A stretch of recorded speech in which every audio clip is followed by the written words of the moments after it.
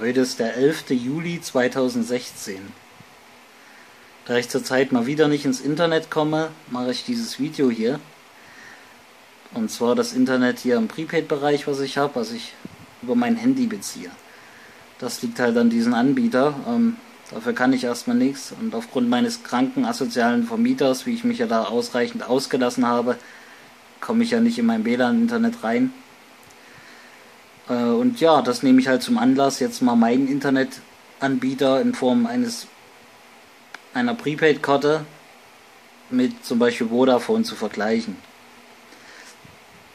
Mein Internetanbieter ist Ortel Mobile. Ich nenne die einfach mal Ortel.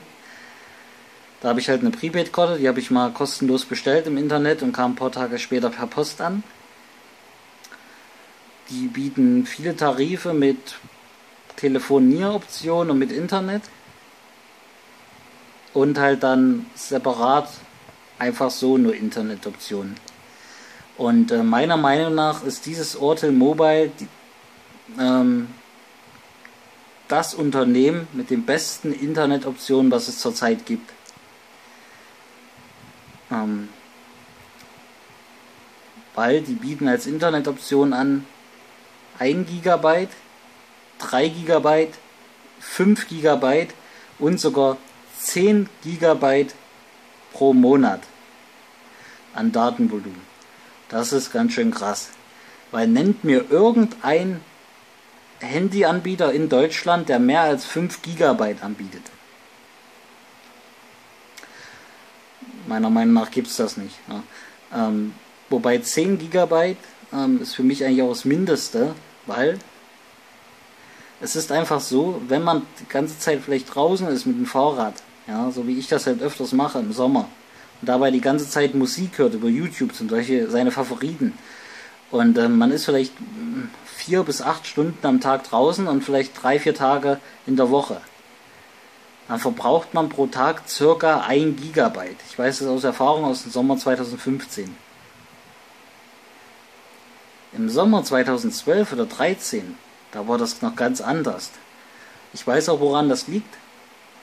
Die Kameras der YouTuber, die werden immer hochwertiger.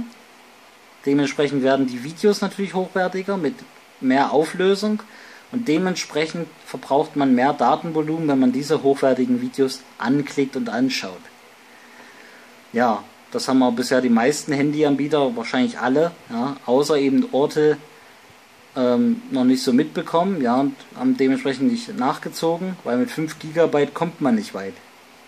Wenn man die ganze Zeit nur irgendwie so normale Seiten besucht wie Facebook, ähm, Google und sonst was, das ist null Probleme. Da kommt man auch mit 1 GB in der Regel hin pro Monat. Aber wenn man halt Videos oft schaut auf YouTube und was weiß ich, äh, oder auch oft was runterlädt, irgendwelche Downloads macht, äh, dann braucht man auf jeden Fall ein bisschen mehr. Ähm, jedenfalls ist das so, 1 GB kostet zum Beispiel 9,99 Euro pro Monat, 3 kosten 14,99 Euro pro Monat, 5 GB 19,99 und ähm, diese 10 GB, die kosten 34,90 Euro oder 99. Ich weiß jetzt nicht immer, ob es 90 Cent sind, 95 oder 99. Seht mir das nach. Aber von dem äh, Euro, von der Eurosumme her stimmt's. Also 10 GB kosten 34, ich glaube 90 Cent. Ja, das ist ziemlich ordentlich, weil man spart ja dann 5 Euro gegenüber 5 GB und allgemein ist das ein guter Preis. Ähm, ja, wie gesagt, das ganz große Positive ist überhaupt, dass diese 10 GB angeboten werden, weil damit kommt selbst ein Mike Gold doch schon ein bisschen hin. Und vor allen Dingen jetzt kommt das Positive, wenn diese 10 GB alle sind, genau wie diese 5, 3 oder 1 GB, ähm, dann kann man das Gottverdammt bei Ortel nachbuchen das gibt es nicht bei jedem Anbieter. Klar, das gibt es gerade so bei E+. Orte ist nämlich in der E Gruppe. Da gibt es das ein bisschen häufiger. Bei blau.de, glaube ich, und Simio. Weil Simio extrem unseriös ist. Meide das. Und blau.de ist genauso scheiße. Orte Kundenservice kenne ich noch nicht. Ich, bin ich jetzt auch nicht scharf drauf, den kennenzulernen. Ähm, es ist so, wenn man zum Beispiel, wenn diese 10 GB jetzt verbraucht sind, die gelten ja grundsätzlich so für 30 Tage. Wenn die verbraucht sind, ob nach einem Tag, nach einer Woche, nach zehn Tagen oder nach drei Wochen, ist egal, dann kann man die nachbuchen. Da kriegt man eine SMS mit gleich der Möglichkeit, ja, das kostenfrei nachzubuchen. Grundsätzlich kann man das per SMS nachbuchen lassen, per App, also es gibt diese Ortel-App, die kann man sich runterladen. Oder auch über meinortel.de auf der Webseite, muss man sich registrieren. Sicherlich geht das alles auch über, den, über die Kundenhotline, die ist in der Regel, glaube ich, von 8 bis 18 Uhr erreichbar. Auch am Wochenende bis 18 Uhr, aber da, glaube ich, erst ab um 9. Ähm, die Nachbuchung ist immer günstiger als die Hauptbuchung. Bedeutet, ähm, 3 GB kosten jetzt zum Beispiel 14,99 Euro monatlich bei Ortel. Die Nachbuchung kostet nur 9 Euro. Da spart man also quasi 6 Euro. Die Qualität ist aber die gleiche. Ähm, was jetzt zum Beispiel Nachbuchung bei den 5 GB, die normal 19,99 Euro kosten, kostet, weiß ich nicht. Vermute mal 14 Euro. Und ich weiß auch nicht, was die Nachbuchung ähm, ich weiß zum Beispiel, dass die Nachbuchung bei einem 1 GB, die 9,99 Euro kosten, dass die 3 Euro gerade mal kostet. Ich vermute also, dass die Nachbuchung bei den 10 GB, die ja normal 34,90 kosten, vermute ich also mal, dass die gerade mal 25 Euro kosten. Nachbuchung. Nochmal, bei der Nachbuchung ist die Qualität genau gleich wie bei der Hauptbuchung, also die Internetqualität. Sollte ja auch so sein. Das Krasse ist, man kann auch mehrmals nachbuchen. Beziehungsweise unbegrenzt oft nachbuchen, bis halt diese 30 Tage erreicht sind. Dann werden ja wieder standardmäßig, vorausgesetzt man hat genug Guthaben auf der Karte, standardmäßig wieder die entsprechende, das entsprechende Datenvolumen wieder zur Verfügung gestellt. Ja, das, was man halt ursprünglich gebucht hat. Aber ich habe jetzt 10 GB, die sind nach zwei Tagen alle. Buch da wieder 10 GB als Nachbuchen, was günstiger ist. Dann sind die nach 3, 4 Tagen alle, dann kann ich das wieder buchen. Also ich kann das unbegrenzt oft buchen. Das ist das Gute.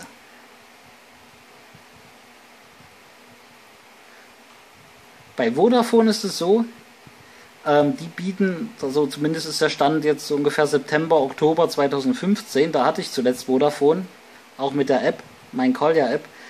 Ähm, die boten da maximal 4 GB an, was an sich schon mal ziemlich wenig ist. Und vor allen Dingen war das alles gestaffelt auf mehrere Bausteine.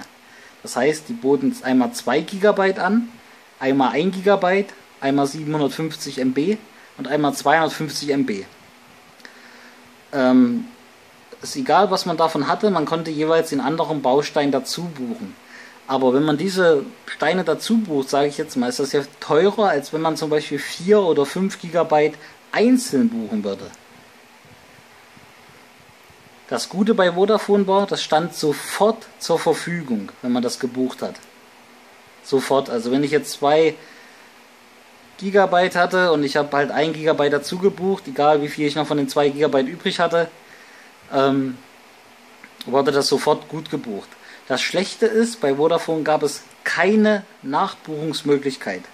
Wie gesagt, das ist der Stand ungefähr Oktober 2015. Da gab es null Nachbuchungsmöglichkeiten. Die gab es einfach nicht. Waren die 4 GB rum, hatte man zumindest mit dieser Vodafone-Karte Pech gehabt. Ähm, bei der Vodafone-App, da war es so, ähm, da konnte man ja sehen, wie viel Datenvolumen man noch hatte und wie, mal, wie viel verbraucht wurde. Das ist ja super erstmal, ja. Sollte aber auch so sein. Ähm, weil wir leben ja im modernen Zeitalter. Und ähm, das Ding ist aber, ähm, dieser Verbrauch von den Datenvolumen, das, oder diese App allgemein, die hat sich nur alle halbe bis dreiviertel Stunde aktualisiert. Zwar unabhängig von der Tageszeit, ja, völlig unabhängig davon, aber eben trotzdem immer nur alle halbe bis dreiviertel Stunde. Bei der Ortel-App, da ist es so, ebenfalls völlig unabhängig von der Tageszeit, egal ob 0 Uhr, 3 Uhr, 15 Uhr, 7 Uhr, 21 Uhr, diese Ortel-App tut sich zwecks des Datenverbrauchs, Datenvolumens rund um die Uhr und zwar sekundengenau aktualisieren. Bedeutet, ich habe 2 GB Datenvolumen, gehe auf YouTube, schaue ein relativ langes schau halt irgendein Video an, sagen wir mal ein längeres, ja, hochwertiges. Klick das Video weg, gehe sofort danach auf die Ortel-App. Da steht dann halt statt 2 GB steht halt ähm, 1,950 GB. Ja, sodass quasi 50 MB verbraucht worden sind. So aktuell ist diese App. Das ist krass. Also die ist wirklich übelst genau, die ist sekundengenau. Die zeigt sofort an, was du verbraucht hast. Sobald du ein YouTube-Video angeklickt hast, von YouTube weggehst, so auf die Urtel-App gehst, zeigt das an. Das ist krass. Das ist wirklich krass. Abstriche gibt es eventuell, ja, äh, wegen dem E-Plus-Netz. Das kommt halt drauf an. Weil Vodafone und Telekom-Netz kommt natürlich äh, das E-Plus-Netz nicht ran. Überhaupt das E-Netz.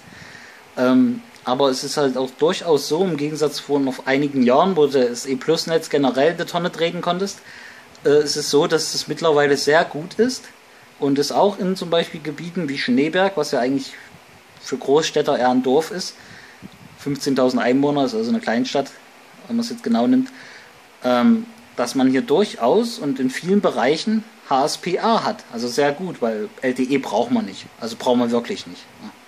LTE ist natürlich ein Top-Netz, aber es ist nicht notwendig, ähm, weil wenn ein gutes HSPA-Netz zur Verfügung steht, dann reicht das vollkommen aus. Nur wenn man jetzt äh, ständig Edge hat, dann ist das natürlich ein bisschen nervig, weil dann kann man eventuell nicht so gut Videos anschauen. Ähm, also das klappt bei E Plus mittlerweile auch in der Regel, dass man halt da gutes Netz hat. Das habe ich hier auch überwiegend. Sowohl draußen als auch in der Wohnung. Ähm, positiv, wie gesagt, bei Vodafone war, ähm, dass das sofort zur Verfügung stand. Ja, wobei es da nicht um ähm, nachgebuchtes Volumen ging, sondern einfach nur um normale gebuchte Optionen. Hier ist es so, bei Ortel, wenn man da was nachbucht, das dauert, also ich habe es jetzt erstmal nur einmal nachgebucht, aber ich, also zweimal nachgebucht. Bei der ersten Nachbuchung, oder gab es generell technische Schwierigkeiten, da hat es, glaube ich, da hat das ungefähr 8 Stunden gedauert. Ich habe das 22.39 Uhr gebucht. Und erst zwischen 6 und 7 Uhr stand das zur Verfügung. Man kriegt zwar eine SMS, äh, für Sie steht ab sofort folgendes zur Verfügung. Highspeed-Datenvolumen steht dann da weiter. Ähm, in der App selber steht aber, ähm, für Sie steht in Kürze das Datenvolumen bereit. Ja, ja in der SMS steht, man hat es sofort zur Verfügung und in der App steht, ähm, es steht in Kürze oder es steht bald bereit. Was soll der Scheiß denn? Wenn in der SMS drin steht, es steht sofort zur Verfügung, dann muss es auch sofort zur Verfügung stehen. Ähm, ja, und jetzt ist es schon wieder anderthalb Stunden her, wo ich äh, das nachgebucht habe. Es steht immer noch nicht zur Verfügung, obwohl ich äh, dann jeweils beim letzten Mal und auch jetzt ähm, dann immer das Handy ausgeschalten habe für ein paar Minuten, aber ich glaube, das hat auch damit nichts zu tun. Das ist ganz, ganz schlecht. Also wenn ich hier äh, vielleicht jedes Mal drei bis sechs Stunden oder sogar acht Stunden warten muss, ehe das nachgebuchte Datenvolumen tatsächlich zur Verfügung steht, das, das, ist, das ist ganz, ganz, ganz, ganz schlecht. Das ist wirklich schlecht. Ähm, also das ist ein ganz negativer Kritikpunkt an den eigentlich sehr guten Ortel. Und was auch, ich muss jetzt langsam Schluss machen, aber ich denke, das reicht noch, was auch negativ ist, ähm, bei, bei Vodafone war es so, als positives, ähm, hatte ich 2 GB drauf und wollte 250 MB dazu buchen. Dann hatte ich halt 2,250 GB zur Verfügung. Hier ist es so, bei Ortel ist es so, ähm, was weiß ich, wenn ich noch 500 MB zur Verfügung habe und neues Highspeed-Volumen von 3 GB dazu buche, dann ist es so, wenn, wenn das gebucht wird, dieses neue Datenvolumen, dann wird, werden diese 500 MB auf 0 gesetzt und die 3 GB kommen dann halt auch, kommen dann neu dazu. Ja? Aber halt nicht dazu im Sinne vom Plus, sondern ähm, das alte Datenvolumen wird dann zurückgesetzt, wenn ich das neue Datenvolumen bestelle. Und das neue kommt dann einfach so dazu. Ja? Also ähm, normalerweise, also es müsste also gerechter wäre es halt, wenn ähm, das neu gebuchte Datenvolumen ähm, zu dem alten hinzukommt, ja, man das ähm, einfach addiert. Aber da ich das von Anfang an wusste, habe ich nie Minus gemacht. Ja, ich hatte beim letzten Mal noch 24 MB übrig, dann habe ich es gebucht. Jetzt habe ich noch, was ich, 50 übrig. Ja, und jetzt ist das Video rum. Also Ortel Mobile ist schon ein ziemlich guter Handyanbieter, muss man sagen.